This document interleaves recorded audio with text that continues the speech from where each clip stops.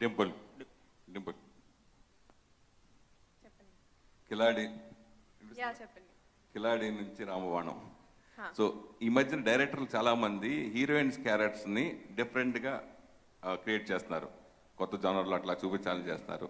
మీ ఈ సినిమాలో మీ క్యారెక్టర్ కొంచెం వల్గర్గా ఉన్నట్టుగా అనిపిస్తుంది. దీని గురించి మీరు ఏమంటారు?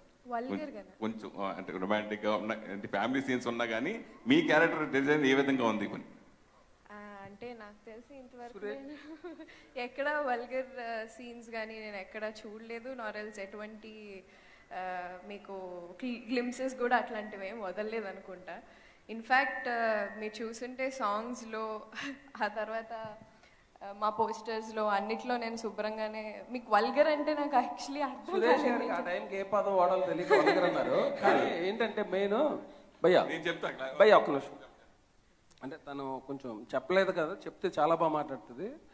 అంటే ఇప్పుడు ఒక ప్రెస్ మీట్కి ఆవిడ వేసుకొచ్చిన డ్రెస్ చూస్తే ఈ సినిమాలో ఆమె క్యారెక్టర్ ఏంటో మీకు అర్థమైపోతుంది. అది ఎలా అంటే అంటే ఈ సినిమా ఒక ట్రెడిషనల్ సినిమా ట్రెడిషనల్గా ఉండాలి అని చెప్పి ఆ అమ్మాయి వెస్టర్న్ కూడా నేను వేసుకోనంటే చాలా ట్రెడిషనల్ అని అలాంటి డ్రెస్సులు వేసుకుని ప్రమోస్కి వస్తూ ఉంది. సో దాన్ని బట్టి ఆ సినిమా అలా అమ్మాయి డెప్త్ క్యారెక్టర్ ఏంటో మీకు యాస్టీస్గా అర్థమైపోతుంది. మీతో పాటు డింపుల్ మీతో పాటు వచ్చిన హీరోయిన్స్ నెంబర్ వన్ పొజిషన్లోకి వెళ్తున్న చాలా మంది శ్రీలీల కానీ మన వరుసగా చాలా మంది. అట్లా ఆ పొజిషన్లో డింపుల్ని ఎప్పుడు చూడొచ్చు అంటే? మీరే చెప్పాలండి. అంటే సినిమా చేయడం వరకే మా బాధ్యత. ఆ తర్వాత ఆడియన్స్ అప్రిసియేషన్ మీ అప్రిసియేషన్ దాన్ని బట్టే అది నెంబర్ వన్నా నెంబర్ టూ వాట్ ఎవర్ ఆ నెంబర్స్ మీ నుంచే వస్తుంది. మేం చేయడం యాజ్ అన్ యాక్టర్ ఆ క్యారెక్టర్ ఏంటి?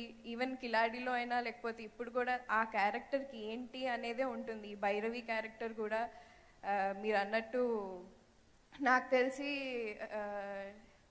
ఇది చాలా ఒబీడియంట్గా చాలా కేర్ తీసుకుని చేసిన character to be frank so ఇది కూడా మీకు నచ్చుతుందనే అనుకుంటున్నాను. So yeah